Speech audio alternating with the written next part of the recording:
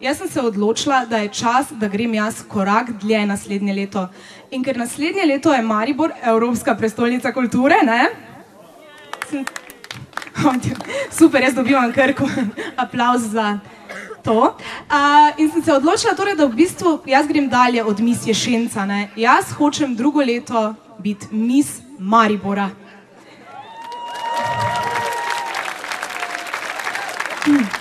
Zato sem si dala danes tu črte gor, da me boljše vidite.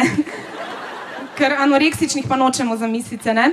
In jaz sem si potem ful sem razmišljala, recimo, kaj hudiča bi lahko, ne, ker vse misice nekaj promovirajo, ko so mis mesta nekega, potem ne vem, imajo pršut, pa imajo fajn krompir, pa take stvari. Jaz sem pa mislila, kaj bi jaz lahko v Mariboru promovirala, ne vem, staro trto, redarsko službo, ki odpelje vse avte, ki nimajo mariborske registracije.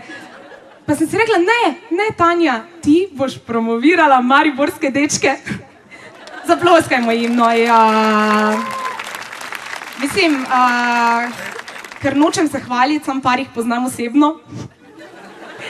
Ja, par. In se mi zdi, da je prav, da svet ali vse Slovenija zve nekaj o mariborskih dečkih, ker so res odlični. Imam ene super zgodbice, recimo z enim fantom, ko sem bila, rečemo umetnik, ker je bil tako zgubljen v času in prostoru.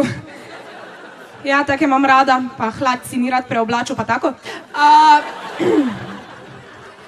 recesija, treba imeti iste cote gor. No in potem se je on enkrat odločil, da bi bilo ful fino, da bi pa mi dva igrala šah, naga. Kar je v bistvu dvojno ponižanje, če si jasne. Ker prvo kot prvo ne znam šaha igrati, ker to za mene en tak veliki človek ne jezi se spul preveč figurami.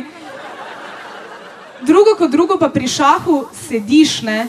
In če sediš nag, je to približno tako, da na nudistični plaži delaš počepe. Ni lepo, ne? Ni lepo. Ne. Mislim, kar predstavljajte si me. Sicer me je dečko potem pustil zaradi ene druge punce prek sporočila, Bogu hvala za tehnologijo na tej točki, me je pa naučil ene ful pomembne lekcije, ne? da če je življenje turnir v šahu, sem jaz vsaj v polfinalu, ker vedno poberem vse kmete. Ne?